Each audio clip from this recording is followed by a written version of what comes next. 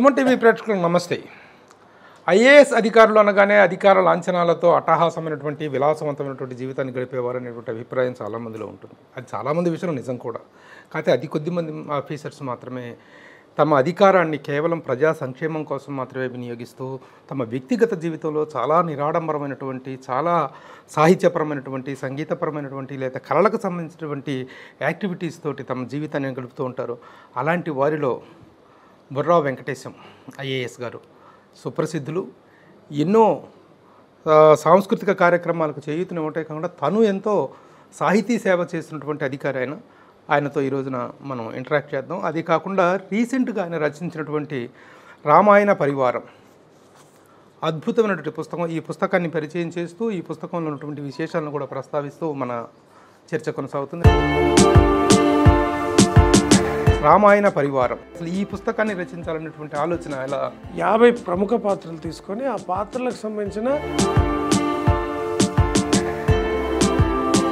అమ్మా నాన్న మీద మీరు రాసినటువంటి పాట విశేషమైన ప్రాచుర్యం పొందింది. మనం ఒక ధైర్యంతో ఒక పూర్తి స్థాయి ఆత్మవిశ్వాసంతో భారతదేశంలో ఉన్నటువంటి ఇరవై మూడు అధికారిక భాషలు. వీటిలో ఎవరు ఎక్కువగా మాతృభాష పట్ల ఫైట్ చేస్తున్నారు? ఒక నలుగురు తెలుగు వాళ్ళు కనిపిస్తే వేరే భాష మాట్లాడతారు. ఒక నలుగురు తమిళ వాళ్ళు కనిపి నమస్కారం సార్. నమస్తే బాబు గారు. నమస్తే. చాలా చాలా అద్భుతంగా ఉంది ఈ రామాయణ పరివారం అనే పుస్తకం రాత్రి అంతా చదవడం జరిగింది. థ్యాంక్స్ ఎందుకంటే హైందవ ధర్మాన్ని ప్రబోధించేటువంటి ఒక గొప్ప పుస్తకమే కాకుండా రామాయణం పాత్రల వైశిష్టాన్ని చాలా అద్భుతంగా చెప్పారు మీరు. అంటే రామాయణం గురించి ప్రతి ఒక్కరికి తెలుసు కానీ మీరు చేసినటువంటి పరిశోధన ఏదైతే ఉందో ఆ పరిశోధనలో ప్రతి పాత్రని పరిచయం చేస్తుంటే ఈ పాత్రలో ఇంత ఔన్నత్యం ఉందా ఇంత గొప్పతనం ఉందా అని ఆశ్చర్యపోవటం చదివిన వల్ల అంత అవుతుంది. ఎలా సాధ్యపడింది? మీకు అసలు ఈ పుస్తకాన్ని రచించాలనేటువంటి ఆలోచన ఎలా జనరేట్ అయింది సార్? నేను తెలుగు సాహిత్యం అనేది చిన్నప్పటి నుండి కూడా ముఖ్యంగా మా నాన్న మా నాన్నగారు బతుకున్న కాలంలో అంటే నాకు దురదృష్ట దురదృష్టవశాత్తు వారు నేను ఏడు సంవత్సరాల వయసులోనే కోల్పోవడం జరిగింది వారు. కానీ ఆయన బతుకున్నంతసేపు నన్ను ఒళ్ళో కూర్చోబెట్టుకొని ఇటు రామదాస్ కీర్తనలు కానీ ఇటు వీరబ్రహ్మేంద్ర స్వామికి మాటలు కానీ చెప్తూ దానికి సంబంధించిన సాహిత్య అభిలాషను నాలో అప్పట్లోనే వారు పూర్తి స్థాయిలో నాలో ప్రవేశపెట్టారు. దాంతోపాటు సివిల్ సర్వీస్లో ఐఏఎస్ ఎగ్జామ్ రాయడంలో తెలుగు సాహిత్యం ఒక ఆప్షనల్గా నేను తీసుకున్నాను. సో ఈ రెండు కలిపి తెలుగు సాహిత్యం పట్ల చాలా మక్కువ నాకు ఉంటాం తర్వాత మాతృభాష మాతృభూమి తర్వాత మాతృమూర్తి. ఈ మూడు చాలా ప్రధానమైన విషయాలు మనిషి జీవితంలో ఉండాలి. అంటే మనం మాతృభాషని మర్చినా మాతృభూమిని మర్చినా మాతృమూర్తి మూర్తిని మర్చినా కూడా మన జీవితాలు అధోగతమవుతాయి. ఎప్పుడైనా. మన ప్రత్యేకత అనేది ఈ మూడింటి ద్వారానే మనకు సంతరిస్తుంది. కాబట్టి తెలుగు అనేది మన తెలుగు వాళ్ళు ఒక ప్రపంచంలో పన్నెండవ పెద్ద భాష అయిన మన తెలుగు భాషని పోను పోను మనం ఎలా నిర్లక్ష్యం చేస్తూ వస్తున్నాం అనే అది నాలో ఎప్పుడు మదన ఉండేది. ఆ మదన నేను ఎప్పుడు ఆ బాధ నాలో ఎప్పుడు ఉండేది. సరే కొద్ది కాలం పాటు మనం ఉద్యోగ బాధ్యతలో ఏమైతే చేయగలమో అది చేసేవాళ్ళము. కలెక్టర్ ఉన్నప్పుడు ప్రతి ఒక్కరికి తెలుగులో మనం తెలుగు అధికారిగా ఏమైతే చేయొచ్చో అవన్నీ చేసేవాళ్ళం తెలుగును ప్రోత్సహించేవాళ్ళం. తర్వాత ఎండి టూరిజం ఉన్నప్పుడు కానీ కల్చర్ సెక్రటరీగా ఉన్నప్పుడు కానీ తెలుగుకు సంబంధించి చాలా విషయాల పట్ల చాలా కృషి చేయడం జరిగింది. ముఖ్యంగా తెలుగుకి ప్రాచీన భాష హోదా. కేంద్ర ప్రభుత్వం ఇచ్చిన తర్వాత మద్రాస్ హైకోర్టులో ఒక స్టే వచ్చింది. దాన్ని మళ్ళీ ఆ స్టేని వెకేట్ చేసే టైం అంతా కూడా నేను అప్పుడు కల్చర్ సెక్రటరీ ఉన్నప్పుడు తెలంగాణ ప్రభుత్వం తరఫున ఒక అఫిడవిట్ సమర్పించి ఆ స్టేని వెకేట్ చేయించి మళ్ళీ తెలుగు ప్రాచీన భాష హోదాని మళ్ళీ తెప్పించుకోవడంలో నాకు ఒక మంచి అవకాశం దొరికింది. అట్లాగే రెండు వేల పదిహేడులో ప్రపంచ తెలుగు మహాసభలు హైదరాబాద్లో అంగరంగ వైభవంగా జరిగినప్పుడు దానిలో కీలకమైన పాత్ర సెక్రటరీ కల్చర్ డిపార్ట్మెంట్గా నాకు లభించడం. సో ఇవన్నీ గమనించిన తర్వాత ఈ పరిణామంలో నాకు అనిపించింది తెలుగు పట్ల మనం కొంత ఈ పిల్లల్లో ఒక అభిలా అభిలాష రావాలి వాళ్ళు అభిశక్తి అంటే అనురక్తి ఏర్పడాలి ఆ భావ వ్యక్తీకరణ తెలుగులో ఉండేట్లుగా మనం చేయాలనే ఉద్దేశం కొద్దీ మనం మనమే కొంత రాయాల్సిన అవసరం ఉంటుందనే ఉద్దేశం కొద్ది టూ థౌజండ్ నైన్టీన్లో అనుకుంటూ మొదలుపెట్టి బట్ టూ థౌజండ్ ట్వంటీ వన్లో ఇక నిజంగా దాని రంగంలోకి దిగడం జరిగింది. అంటే టూ థౌజండ్ నైన్టీన్లో సెల్ఫీ ఆఫ్ సక్సెస్ అనే ఒక మంచి బుక్ అమెజాన్ బెస్ట్ సెల్లర్గా ఉంది. అంటే సెల్ఫ్ హెల్ప్ మీద సెల్ఫ్ ఇంప్రూవ్మెంట్ మీద ఈ బుక్ రాయడం జరిగింది. అది అమెజాన్ ప్రపంచవ్యాప్తంగా కూడా పది భాషల్లోకి అనువదించబడి మంచి పాఠకుల మన్నన పొందింది. దాని తెలుగులో గెలుపు పిలుపు పేరుతో తీసుకురావడం జరిగింది. దాని తర్వాత తెలుగులో ఈ తెలుగు ప్రాచుర్యంలోకి రావాలంటే ముందు కొన్ని భాష అండ్ భావం రెండు ముఖ్యమే. కానీ భాషలో భావం బందీ కాకూడదు. సో మనకేంటంటే చాలా ఛంద ఛందస్సు పద్ధతిలో రాయాలి లేక కొన్ని విధాలలో రాయాలి లేకపోతే అది పుస్తకమే కాదు అనే ఒక అభిప్రాయం కూడా ఏదో సాహిత్యపరమైనటువంటి నిబంధనలు కొన్ని నిబంధనలు ఉంటాయి. కానీ అట్లా చక్కటి భావ వ్యక్తీకరణ చేయగలిగిన వాళ్ళు కూడా ఈ ఛందస్సు అని కానీ ఈ అడ్డుగోడలు దాటి రాలేక రాలేకపోతున్నారు ముఖ్యంగా పిల్లలు. అందుకే నేను ఈ భావాన్ని ప్రధానంగా చెప్తూ భాష ముఖ్యమే. కానీ భాషలో భావం బందీ అవ్వకూడదనే ఉద్దేశం కొద్దీ శతక ప్రక్రియని మొదలుపెట్టి అందులో మొట్ట మొట్టమొదటిగా జీవన ధన్య శతకం అనే ఒక పుస్తకం రాయడం జరిగింది.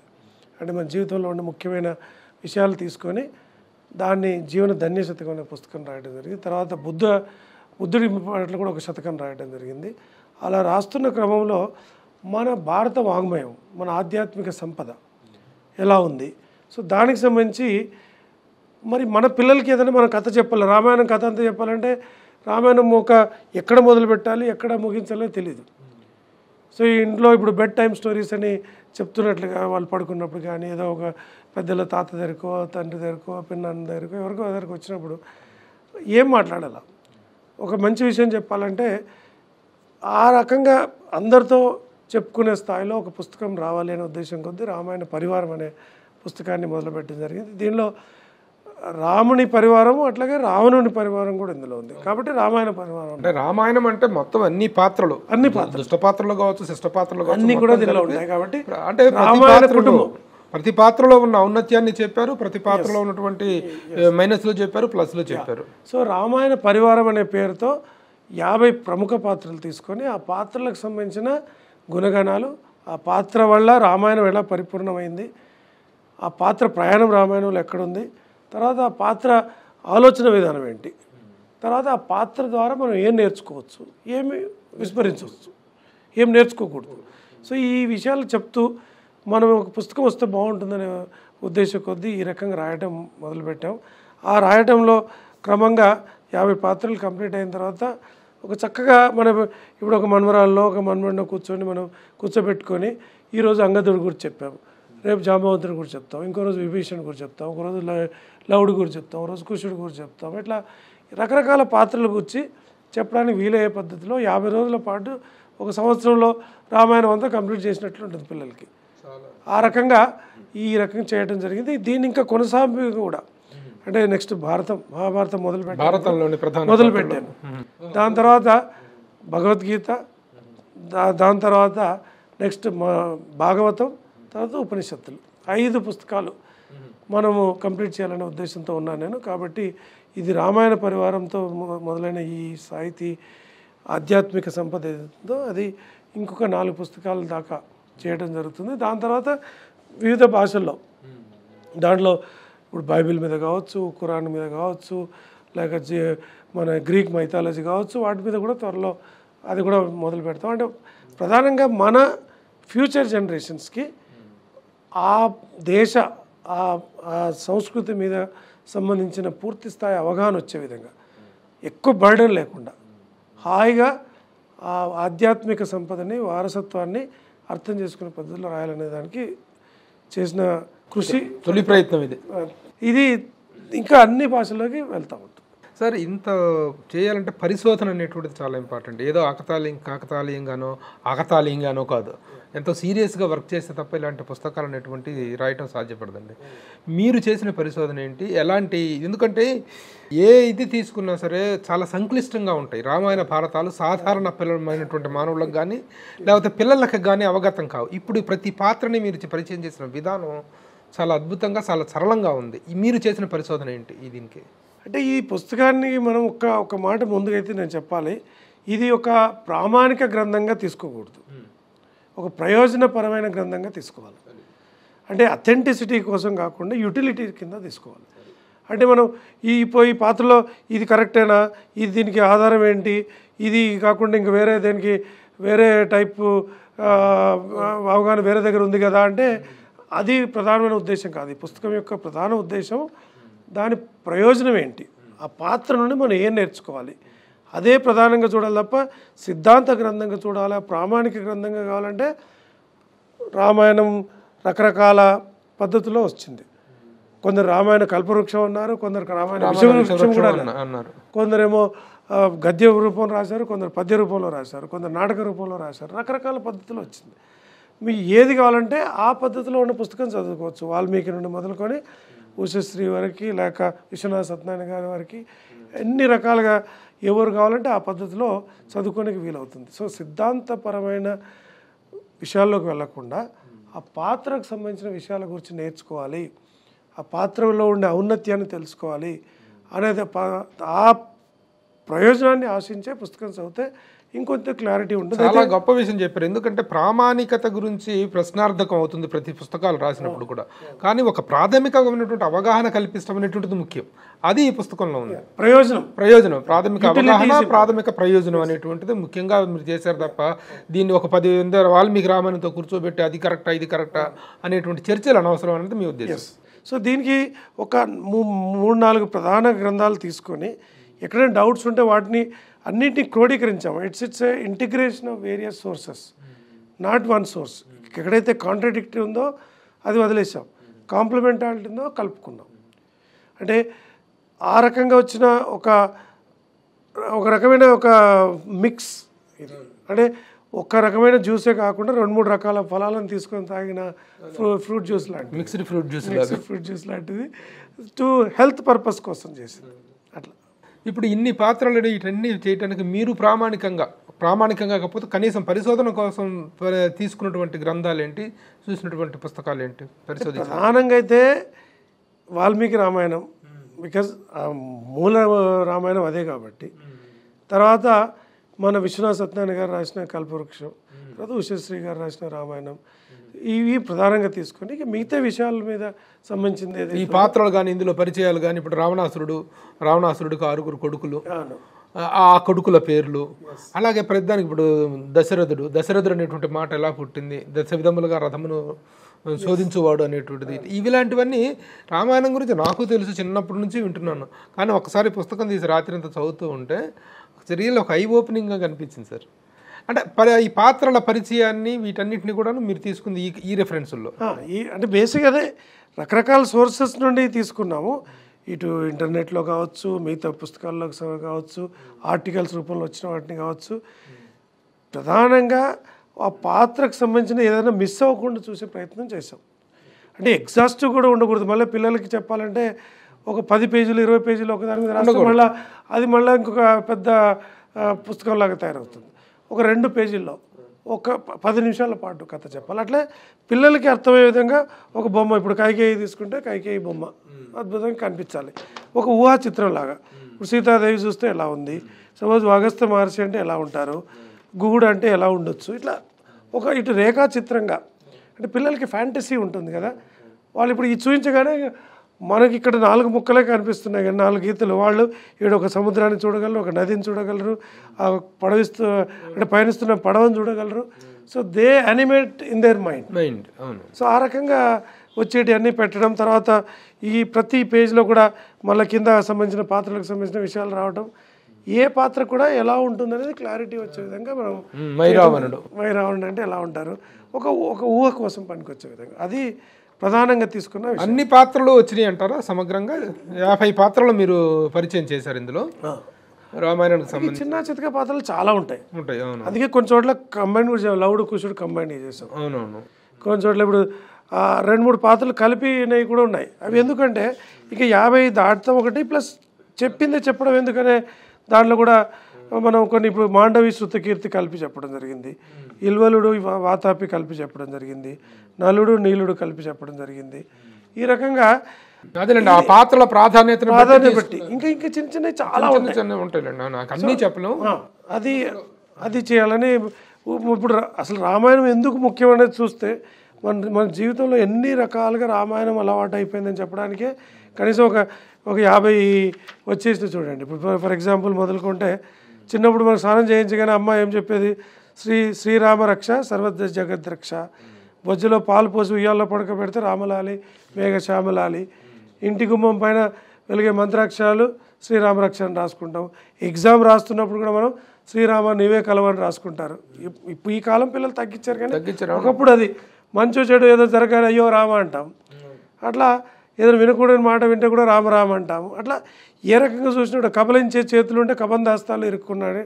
అట్లా మొదలుకొని ఏ రకంగా చూసినా మన జీవితంలో రామాయణం అనేటువంటిది మన జీవితంలో ఎంత అంతర్భాగం అయిపోయింది. అనేది ఒకసారి మళ్ళీ గుర్తొస్తుంది. అద్భుతంగా చెప్పారు. అన్నీ కూడా గుర్తొస్తాయి అనమాట సరే రామాయణాన్ని ఇంత సరళమైనటువంటి భాషలో ఇంత అందుబాటు అందుబాటు అనేటువంటిది వెరీ అందుబాటు అంటే పుస్తకం అందుబాటులో ఉంటాం కదా. ఆ భాష ఆ భావము ఆ సాహిత్యం అనేటువంటిది అందుబాటులో ప్రతి ఒక్కరికి ఉండటం అనేటువంటిది ఈ పుస్తక ప్రత్యేకత. దీని మీద ప్రత్యేకమైనటువంటి రివ్యూస్ కూడా రాయాల్సిన అవసరం ఉంది. నెక్స్ట్ ఇప్పుడు మీరు చేపట్టబోతున్నటువంటి కార్యక్రమాన్ని చూస్తుంటే మిగతా అన్ని కూడా చెప్పారు. భారతం భాగవతం ఇవన్నీ కూడా చేయవచ్చు. ఒక ఐఏఎస్ ఆఫీసర్గా ఇంత బిజీగా ఉంటారు. పోనీ ఐఏఎస్ ఆఫీసర్గా వెంకటేష్ గారు ఎక్కడన్నా నాన్ బిజీగా ఉన్నారంటానికి అవకాశం ఉంది ఏ ప్రభుత్వ కార్యక్రమంలో చూసినా మీ శాఖకు సంబంధించి దేంట్లో చూసినా మీరు చాలా క్రియాశీలకంగా పనిచేస్తూ ఉంటారు.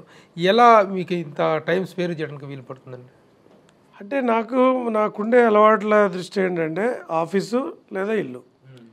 ఇక బయట నేను జనరల్గా ఈ వేరే వేరే కార్యక్రమాలు కనిపించాను నేను చాలా తక్కువ. సో అందువల్ల నాకు ఆఫీస్ టైంలో చేయాల్సింది ఆఫీస్ పని చేస్తాం. వృత్తిరీత్యా చేయాల్సింది చేస్తూ ప్రవృత్తి రీత్యా ఇది చేస్తున్నాం. ఇంటికి వెళ్ళామంటే మనకి వేరే వ్యాపకం ఉండదు కాబట్టి పుస్తకాన్ని తీసుకొని చదువుకోవటమో లేక రాయటమో. కాబట్టి ఇది ఒక రోజులో రెండు రోజులు కాదు. దాదాపు ఒక ఆరు నెలల పాటు శ్రమిస్తే వచ్చిన పుస్తకం ఇది. సో ఆ రకంగా ప్రతిదానికి కొన్నేమో ఒక ఒక పాట రాయాలనుకోండి అది ఒక ఒక పది నిమిషాలు అయిపోతుంది. పాఠాన్ని ప్రస్తావన వచ్చింది కాబట్టి అమ్మ మీద మీరు రాసిన పాట అమ్మ నాన్న మీద మీరు రాసినటువంటి పాట విశేషమైన ప్రాచుర్యం పొందింది. అట్ ద సేమ్ టైము ఒక ఒక అమ్మా నాన్నల ఔన్నత్యాన్ని ఇంత అద్భుతంగా చెప్పటం ఇంత సరళమైన పదాల్లో చెప్పటం అనేటువంటిది చాలా గొప్ప విషయం. అది ఎలా జరిగిందండి? ఆ పాట పుట్టుక కానీ ఆ పాట స్వరం కానీ సంగీతం కానీ ఇది ఇప్పుడు సపోజ్ ఉదాహరణకి మన జీవన ధన్య శతకం అనేది తీసుకుంటే నేను లాస్ట్ ఇయర్ ఉగాది నా గత సంవత్సరం ఉగాది రోజు మార్నింగ్ ఎయిట్ కూర్చొని ఎందుకో నాకు ఈ జీవితంలో ఉండే మంచి విషయాలు మనం జనాలకు చెప్పాలనే ఆలోచన ఏదైతే నా మైండ్లో తిరుగుతున్నాయో అన్నీ ఒకసారి పుస్తక రూపంలో రావాలనుకొని అట్లాగే భాష తగ్గించకుండా భావం ప్రధానంగా ఒక పుస్తకం రావాలి శతక ప్రక్రియ మంచిది అనే ఉద్దేశం కొద్దీ మార్నింగ్ ఎయిట్ మొదలుకొని ఈవినింగ్ ఎయిట్కి అంతా కంప్లీట్ చేశాను. వంద పద్యాలు. ఒకటే రోజు అయిపోయింది. వన్ డేలో కంప్లీట్ అయిపోయింది. సో దానికి సంబంధించిన ఇప్పుడు సపోజ్ రెండు మూడు చెప్పాలంటే ఆనందం మన సహజ స్వభావం. దుఃఖం మనం తెచ్చిపెట్టుకున్న అనుభవం. సో దుఃఖాలని వీడి ఆనందాలని వెతుకు వెతికే గుణం మనలో ఉంటే జీవితం ధన్యం సత్యం ఇదే తెలుసుకో మిత్రమా. సింపుల్. అట్లా సో లేదా చరిత్ర శాంతం గెలిచిన వారి సంతకం ఓడిన వారి రక్తపు సిరాతో ఆ, గెలుపు నిజమేమిటో ఆ గెలుపు మర్మమేమిటో పరమాత్మకే ఎరక. గెలుపు ఓటమిల విచక్షణ మరిస్తే ధన్యం సత్యం ఇదే తెలుసుకో మిత్రమా. అంటే సింపుల్గా ఇచ్చుకోవడంలో ఉండాలి కానీ పోటీ పుచ్చుకోవడంలో పోటీ ఏంటి? పుచ్చుకుంట దైన్యం ఇవ్వడం ధన్యం. సత్యం ఇదే తెలుసుకో మిత్రమా? అంటే ధన్య శతకంలో రాసినటువంటి ఇట్లాంటి మాటలు చెప్పి ఒక్క రోజులోనే ఇవి కంప్లీట్ చేశాను ఒకటే రోజులో. అంటే ఒకసారి అట్లా అలాగే అమ్మగారి మీద మీరు రాశారు. దాని దానికి వస్తున్నాను. ఇప్పుడు టూ థౌజండ్ ట్వెల్వ్లో మన వరప్రసాద్ రెడ్డి గారు మాతృవందనం అనే ఒక కార్యక్రమం చేస్తూ ఉంటారు. వాళ్ళ అమ్మగారి పేరు మీద. శాంత శాంతా బయటకు వరప్రసాద్ రెడ్డి గారు. ఆ టూ థౌజండ్ ట్వెల్వ్లో రవీంద్ర భారతిలో మా అమ్మగారికి ఆ సంవత్సరం మాతృవందనం చేశారు ఆయన. అంటే ప్రతి సంవత్సరం ఒక ఒక మాతృమూర్తి తీసుకొచ్చి ఆయన వాళ్ళ దంపతులు మొత్తం కలిపి ఆ అమ్మని గౌరవిస్తూ ఉంటారు అనమాట అమ్మ మా అమ్మగారికి ఏంటంటే ఆమె చదువుకోలేదు కాబట్టి తనలో ఉండే భావాన్ని ఆమె చెప్పలేదు. ఆమెలో విపరీతమైన జ్ఞానం ఉంది. జీవితం నేర్చిన చదువు చాలా ఉంది. అది ఏ పిహెచ్డీలోకి సరిపోదు. అంటే పిహెచ్డీలో ఎందుకు పనికిరావు? దాని ముందు. కాబట్టి కానీ ఆమె తరఫున నేను మాట్లాడాలి. కాబట్టి నేను స్టేజ్ మీద వెళ్ళి ఆ రోజు మాట్లాడిన మాట ఏంటంటే ఈ అమ్మ గీసిన బొమ్మను నేను. ఆమె మనసులో ఉన్న భావన నేను కాబట్టి దీన్ని నేను మీకు చెప్తున్నానని చెప్పి ఆ రోజు అన్న మాటని అలా మైండ్లో నా అలా ఉండిపోయింది. అలా ఏమంటే ఆశోగా వచ్చేసింది ఆ మాట. ఒక రెండు మూడు లైన్లు. అది అలా ఉండిపోయింది. తర్వాత దానికి మళ్ళీ గ్రంథస్థం చేయలేదు. అయితే ఈ జీవనం నా మొట్టమొదటి బుక్ ఏదైతే సెల్ఫీ ఆఫ్ సక్సెస్ ఉందో దాన్ని అబ్దుల్ కలాం గారికి అంకితం చేశాను. ఎందుకంటే నాకు చాలా అనుబంధం ఉంది వారితో. తర్వాత జీవన ధన్య శతకం మా నాన్నగారికి అంకితం చేశాను. బుద్ధ శతకం అమ్మగారికి అంకితం చేశాను. సో ఈ అంకితం చేసే టైంలో టూ థౌజండ్ ట్వంటీ వన్లో ఈ కరోనా టైంలో సో నేను వీరికి ఏదో ఒక నా భావన చెప్పాలనే ఉద్దేశం కొద్దీ కూర్చొని ఈ పాటను రాసుకున్నాను ఆ రోజే. ఒకటే మాటలు అమ్మ గీసిన బొమ్మను నేను నాన్న మదిలో మెదిలే భావన నేను అని. అలా మొదలుపెట్టి చివరికి మనం ఒక ధైర్యంతో ఒక పూర్తి స్థాయి ఆత్మవిశ్వాసంతో ఒక స్టేట్మెంట్ లాంటిది ఇవ్వాలి? ఆ స్టేట్మెంట్ ఏంటంటే అమ్మ ఈ లోకానికి ఇచ్చిన కానుకను నేను. I'm a gift of my mother to the world అంటే నేను ఎప్పుడు కూడా లోకానికి మంచే చేస్తాను. నా తరఫున లోకానికి చెడు జరగదు అనే ఒక పూర్తి స్థాయి నిర్ణయంతో అధికారికంగా మనం మనం చేసే ప్రకటన అది. అది మా అమ్మ ఎప్పుడు అనేది బిడ్డ నీ వల్ల మంచి జరగాలి ఎప్పుడు సో ఆమె చెప్పింది మనం పాటిస్తూ ఉండే ఒక ధైర్యంతో చెప్పే మాట. అట్లాగే మా నాన్న ముందు తరాలకు ఇచ్చిన హామీ. Is it's a promise of my father to the future to the world so ఆ రకంగా ఒక స్టేట్మెంట్ ఇవ్వాలి. ఆ ఆ పద్ధతిలో రాసిన ఆ ఒక ఒక ఒక వంద పదాల్లో ఒక వంద పదాలు చదివితే ఒక కావ్యం చదివిన అనుభూతి రావాలి? అందుకే దాని సూక్ష్మ కావ్యం అనే పేరుతో ఫీల్ గుడ్ పోయిటరీ లాగా ఆ పాటను రాయడం జరిగిందనమాట. ఇప్పటికి మొత్తం మీ దగ్గర నుంచి ఎన్ని పుస్తకాలు వచ్చినాయండి? నా దగ్గర నుండి ఇప్పటికీ ఆరు పుస్తకాలు అయితే డైరెక్ట్గా నేను రాసినవి ఉన్నాయి. ఇంకొక ఐదారు కంప్లీట్ చేస్తున్నాం కానీ ఇంకా పబ్లిష్ చేయలేదు. పబ్లిష్ అయిన ఆరు ఉన్నాయి. ఒక నాలుగు పుస్తకాలేమో మనము ఎడిట్ చేసాం. అంటే చీఫ్ ఎడిటర్గా వాళ్ళతో రాయించి పిల్లలు రాసిన శతక షోడసి అని పదహారు శతకాలు పిల్లలు రాసింది. తర్వాత అనుబంధాల పూదోట అని. అంటే ఈ ఫ్యామిలీ అంటే కుటుంబ బంధాలు మానవ సంబంధాలు వీటన్నింటినీ మళ్ళా మనం ఎలా ముందుకు తీసుకెళ్ళాలనే ఉద్దేశం కొద్ది చేసిన ఇలాంటి పుస్తకాలు రాయించి వాటిని పబ్లిష్ చేయటం అవన్నీ చీఫ్ ఎడిటర్కి ఇంకొక నాలుగు పుస్తకాలు అట్లా కలిపి మొత్తంగా పది పుస్తకాలు పబ్లిష్ అయి ఉన్నాయి. ఇంకొక ఐదు ఆరు సిద్ధంగా ఉన్నాయి పబ్లిష్ చేయడానికి. స్ఫూర్తి ప్రదాయకంగా ఉండాలి ప్రతి పుస్తకం కూడాను ప్రతిది కూడా అనేటువంటిది మీకు కనిపిస్తుంది మీ పుస్తకాల్లో. ఒక చిన్న పుస్తకం కావచ్చు చిన్న బుక్లెట్ కావచ్చు ఏం రాసినా దాని ఒక ప్రయోజనం కనిపిస్తుంది. ఆ ప్రయోజనానికి సాహిత్యాన్ని ప్రయోజనకరంగా మలుచుకోవాలనేటువంటి అభిరుచి కూడా ఆ ఆలోచన కూడా చాలా గొప్పగా అనిపిస్తుంది. అందుకు మీకు ప్రత్యేకమైనటువంటి అభినందనలు కృతజ్ఞతలు సార్. అలాగే ఇప్పుడు పిల్లలకి అందించడానికి ఇలాంటి మంచి సాహిత్యం అనేటువంటిది ఇవ్వాలనే సంకల్పం. దట్ ఈస్ రియల్లీ గ్రేట్ అంటే సమాజ హితం కానీ జ్ఞానమైన సమాజ హితం కానీ సాహిత్యమైనా అది వినాశకరం అవుతుంది ఎప్పుడు కానీ. సో సమాజం కోసమే తప్పించాలి తప్ప నాకు నేనేదో చెప్పుకోవాలనుకుంటున్నానని చెప్పి తన గొప్పతనం చెప్పుకునే ప్రయత్నం కొద్దీ చేసే రచనలు చాలా ఉంటాయి. అది కాకుండా సమాజం కోసమే రా రచనలు రావాలి. సమాజ హితం కోసమే జ్ఞానం కూడా ఉండాలి. ఆ ప్రయోజనం కోసం సిద్ధించడానికి ఇది మొదలుపెట్టాం. అందులో భాగంగా ఇప్పుడు తెలుగు ఇంతకుముందు మీకు చెప్తుంటే పన్నెండు పన్నెండవ పెద్ద భాష అయినప్పటికి కూడా కనుమరుగడి అవడానికి సిద్ధమైన భాషలో తెలుగు కూడా ఒకటి ఉంది.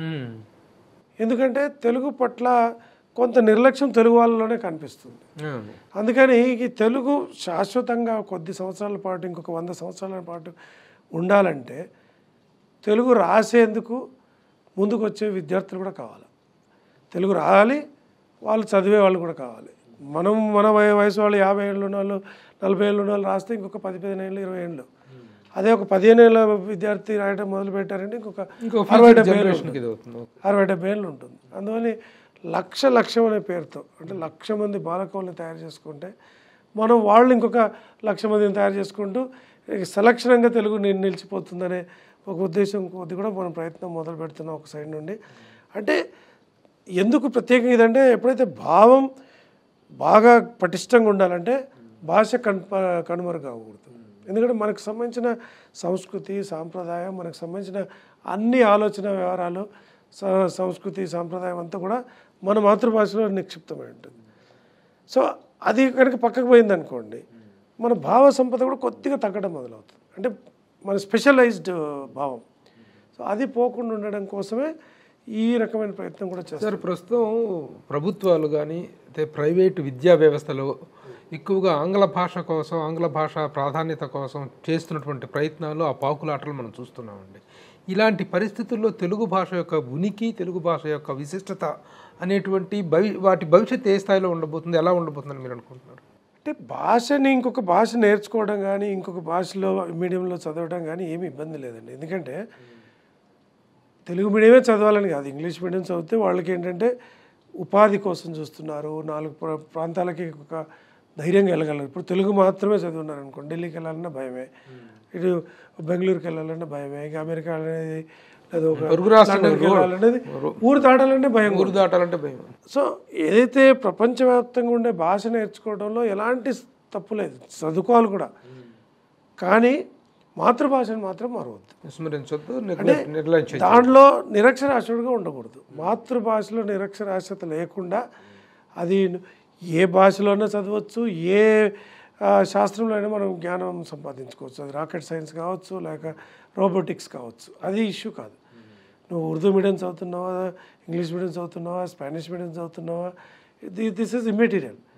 మనం చెప్పే పాయింట్ ఏంటంటే మన భాషలో ఏదైతే తల్లి పాలు తాగుతున్నప్పుడు మనం ఏ మా మాట అయితే ఏ మా మాట అయితే విన్నామో ఏ భాష అయితే విన్నామో ఆ భాషలో మనకి రాయటం చదవటం రావాలి. అది ముఖ్యం. దాంతో అంటే ఇది ఎలాంటిదంటే శాఖోపశాఖలుగా పెరుగుతున్న వటవృక్షానికి ఆధారభూతం వేళ్ళు. ఆ వేళ్ళ నుండే దానికి నీళ్ళు రావాలా. వేలు కట్ అయిపోతే అది ఎంత పెద్ద చెట్టు అయినా ఆటోమేటిక్గా పడిపోతుంది. అట్లాగా మాతృభాషలో పరిజ్ఞానం అనేది వేల లాంటిది ఈ శాఖోపశాఖలుగా వెళ్ళడం అనేది వివిధ భాషలు నేర్చుకొని వివిధ శాస్త్రాలు నేర్చుకోవటం సార్ మన ప్రస్తుత ప్రభుత్వాలకి ఉన్నటువంటి భా మాతృభాష పట్ల కానీ మనదైనటువంటి సంస్కృతి పట్ల ఉన్నటువంటి అవగాహన ఆసక్తి ఏ పాటివి? మీకు ఒక ప్రభుత్వాధికారిగా ఆ ఆ విషయంలో ఎలాంటి సహకారం లభిస్తుందండి? అంటే ఒక్కటి చెప్తాను ప్రభు గారు ఇప్పుడు మనం ఎంతసేపు ప్రభుత్వ అధికారిగా నేను ఉన్నాను కాబట్టి మీరు అనుకోవచ్చు ఈ మాట మాట్లాడుతున్నాను ఎంతసేపు మనకి ఇంకొకరు నిందించడం అలవాటు ఎక్కువైతుంది. ప్రభుత్వాలు అనేది ఎప్పుడైనా మన జీవితంలో ఒక టెన్ ట్వంటీ పర్సెంటే. పది ఇరవై శాతం మించి ప్రభుత్వాలు మనల్ని చేయగలిగిన మార్చాలన్నా ఇబ్బంది పెట్టాలన్నా అంతకు మించి చేయలేవు. బట్ ఒక సంఘంగా ఒక సమాజంగా ఒక ఒక జాతిగా మనం చేసుకునే పనులు చాలా ఉంటాయి. ప్రభుత్వం మీరు ఇంట్లో కూర్చొని తెలుగు మాట్లాడొద్దని ఎప్పుడు చెప్పలేదు. లేక ఒక గుడికి వెళ్ళి అక్కడ ప్రవచనం వినొద్దు వినండి వినొద్దని ఎప్పుడు చెప్పలేదు. సో చాలా విషయాల్లో మనము ఒక సమాజంగా చేయాల్సిన పనులు వదిలేసి ప్రభుత్వం చేయడం లేదు ప్రభుత్వం చేయడం లేదు అని చెప్పే ఒక అలవాటు కింద మారిపోతుంది. అది మనం వదలాలి. ఎయిటీ పర్సెంట్ ఎఫెక్ట్ మన చేత ఉంది కదా. ఇది ఎందుకు చేయడం లేదు? సో మనం చేయాల్సిన పని వదిలేసి ప్రభుత్వం చేయడం లేదనే పేరుతో మన బాధ్యతను విస్మరించడం తప్పు. తెలుగువాడిగా పుట్టాము. తెలుగు వాడిగా బతుకుతున్నాము. సో తెలుగుని మనం కాపాడుకోవాలని జనాల్లో ఉండాలి. ప్రభుత్వం మీరు తెలుగు మాట్లాడొద్దని ఎప్పుడని చెప్పిందా? తెలుగు చదవద్దని చెప్పిందా? ఎప్పుడు చెప్పలా? సార్ మాతృభాష పరిరక్షణ అనేటువంటి విషయంలో మాతృభాష ప్రేమ అనేటువంటి విషయంలో భారతదేశంలో ఉన్న ఇరవై మూడు అధికారిక భాషలు. వీటిలో ఎవరు ఎక్కువగా మాతృభాష పట్ల ఫైట్ చేస్తున్నారు? దాని ఔన్నత్యం కోసం ఫైట్ చేస్తున్నటువంటి భాష ఎవరిదండి? అదే అందులో నంబర్ వన్ అయితే తమిళే. తమిళే. తమిళోళ్ళకి వాళ్ళ భాష పట్ల చాలా అభిమానం ఉంటుంది. తర్వాత చూస్తే కన్నడ వాళ్ళకు కూడా బాగానే కనిపిస్తుంది. ఈ అస్సామీ ఆ సైడ్ పోతే కూడా కనిపిస్తుంది. హిందీ సంగతి హిందీ అయితే సరే హిందీ వాళ్ళు అయితే తప్పనిసరిగా అది పెద్ద భాష దేశవ్యాప్తంగా కూడా అవకాశం ఉంటుంది నేషనల్ లాంగ్వేజ్ కూడా కాబట్టి. సో వాళ్ళు ఎట్లాగూ దా భాష పట్ల మక్కువ ఉంటుంది. అంటే నేను చూసినంత వరకు దేశం అంతా తిరిగి అన్ని రాష్ట్రాలు అన్ని యూనియన్ టెరిటరీస్ కూడా తిరిగి ఉన్నాను కాబట్టి అతి తక్కువ తమ భాష పట్ల మక్కువ ఉండే తెలుగు వాళ్ళకి. భాషాభిమానం ఉన్నటువంటి తక్కువ భాషాభిమానం తెలుగు వాళ్ళకి. తెలుగు వాళ్ళకి. ఇది ప్రభుత్వాల లోపం కాదు. తెలుగు వారిలో ఉండే ఒక విషయం ఇది. అంటే పొరుగింటి పుల్లకూర రుచి లాంటి మన ఆలోచన విధానం. అది ఎందుకు వచ్చిందో తెలియదు ఇప్పుడు ఒక ఒక ఐదుగురు ఒక నలుగురు తెలుగు వాళ్ళు కనిపిస్తే వేరే భాష మాట్లాడతారు. ఒక నలుగురు తమిళ వాళ్ళు కనిపిస్తే ఓన్లీ తమిళే మాట్లాడతారు. అట్లా మనం వేరే వాళ్ళతో వేరే వాళ్ళ భాష నేర్చుకోవాలి వాళ్ళని కంఫర్ట్లో పెట్టాలి అనే ఆలోచన విధానం మంచిది అయినప్పటికీ మన మూలాలు మర్చిపోకూడదు అనేది కూడా అంతే ముఖ్యం. వేరే వాళ్ళని ఇబ్బంది పెట్టకూడదు. వేరే వాళ్ళని జాగ్రత్తగా వాళ్ళని సౌఖ్యంగా ఉంచాలి. కానీ తద్వారా మనము మనం గురించి మర్చిపోతున్నాం అనేది ముఖ్యం. అలాగే తెలుగు భాషకు ప్రాచీన హోదా రావటం విషయంలో జరిగినటువంటి న్యాయపరమైనటువంటి పోరాటంలో మనకు చాలా అడ్డంకిగా నిలిచింది తమిళ వీళ్ళే కదండి? తమిళ్ వాళ్ళందరూ కాదు. అది ఎందుకంటే తమిళ్ వాళ్ళకి ఎందుకంటే మనకి తెలుగుకు సంబంధించిన మూలాలు ఇటు ద్రవిడ భాషలో ఉన్నాయి ఇటు సంస్కృతంలో కూడా ఉన్నాయి. రెండిటి కలిపి వచ్చిన భాష. ఇప్పుడు స- అట్లా కాకుండా ద్రవిడ భాష లేకపోతే తెలుగులో చాలా ధాతువులు పోతాయి. సంస్కృతం నుండి చాలా పదాలు మనం తెచ్చుకున్నాం. మనది ఆదాన ప్రధాన భాష. ఆదానం అంటే తెచ్చుకునే భాష. వి వీఆర్ బారోయర్స్ లాంగ్వేజ్ ఇప్పుడు బస్ అంటే బస్సు అంటాం. పెన్ అంటే పెన్ను అంటాం. ఈజీగా రామ్ అంటే రామ్ అనేది సంస్కృత ధాతు. రాముడు అంటాం. డు మూలు కలిపేసుకుంటాం రాముడు అంటే అసలు తెలుగు వాళ్ళది తెలుగు వాళ్ళదే. రాముడిలోకి వెళ్ళి డూ తీసేసి రాము అని సంస్కృతం వాళ్ళు అన్నట్లుగా అంత ప్రత్యేకంగా తయారు చేసుకుంటాం. కానీ మనకి చాలా పదాలు ఇటు ద్రవిడ భాష నుండి వచ్చాయి. ద్రవిడ భాషే రూపాంతరంగా మెల్లిమెల్లిగా తమిళ కింద మారింది కొంతవరకు. ఇటు సంస్కృతం అన్ని భాషల్లోకి వెళ్ళింది. కాబట్టి తమిళ్ వాళ్ళు ఎప్పుడు దీనిలో ఇబ్బంది పెట్టింది కాదు. ఒక ఒక లాయర్ ఒక లాయర్ వేసి ఒక లాయర్ వేసిన ఒక అది కోర్టు కేసు తప్ప తమిళలో చేసింది కాదు. ఎందుకంటే ఏ మాట కామాట చెప్పుకోవాలి వాళ్ళు ఎవరు కూడా ఇంకెవరు కూడా వాళ్ళు దీని మీద సపరేట్గా అఫిడవిట్లు దా దాఖలు చేయడం కానీ ఇవ్వకూడదని చెప్పిన మాట ఎక్కడ లేదు. ఒక న్యాయవాది వేసినటువంటి లిటికేషన్ లిటిగేషన్ అంతే. ఎందుకంటే ఇంకొకటి కూడా ఉంది. తెలుగు వాళ్ళలో ఒకటి వచ్చిన ఇబ్బంది ఏంటంటే మనకి వెయ్యేళ్ళ చరిత్ర ఉంటే తప్ప ఇవ్వకూడదని. మనం మొదటి నుండి నన్నయ్యనే ఆది కవి అని చెప్తూ పోతున్నాం. నన్నయ్య పన్నెండవ శతాబ్ది వ్యక్తి. మరి మీరే పన్నెండవ శతాబ్దిలో మీ తెలుగు మొదలైందని చెప్పి మళ్ళీ ఎక్కడ ఉందండి చెప్పడము? వాళ్ళు అట్లా క్వశ్చన్ చేశారు. మనం దానికి ఏం చేసాం కురికియాల శాసనం అని అక్కడ ఇప్పుడు జగిత్యాల డిస్టిక్లో వస్తుంది అది అక్కడ ఒక శాసనం తీసాము అట్లాగే ఇప్పుడు పంప ఎవరైతే ఉన్నారో ఆయన ఇటు కన్నడకి ఆది కవి. తెలుగులో కూడా ఆయన రాసి ఉన్నారు సో బోధన్ ప్రాంతంలో జీవించేవారు ఆయన నిజామాబాద్. సో దాన్ని కూడా తీసి ఆయన ఏడు వందల ఎనిమిది వందల శతాబ్దం ఆ సంవత్సరంలో ఉన్న వ్యక్తి అని చెప్పి ఇవన్నీ మనం చూపించాం ఆధారాలు చూపించిన తర్వాత మద్రాస్ హైకోర్టు హ్యాపీగా ఒప్పేసుకుంది. దానిలో ఎక్కడ తప్పేం జరగలేదు. కాబట్టి మన ప్రయత్నం చేయడంలో విఫల విఫలమయ్యడం తప్ప వేరే వాళ్ళని నిందించడం ఒక ఆయనకి ఎందుకు అనిపించింది? మీరు ఎనిమిది వందల ఏళ్ళు అని చెప్తూ వేయం లేదని ఎట్లా చెప్తున్నారని అడిగారు.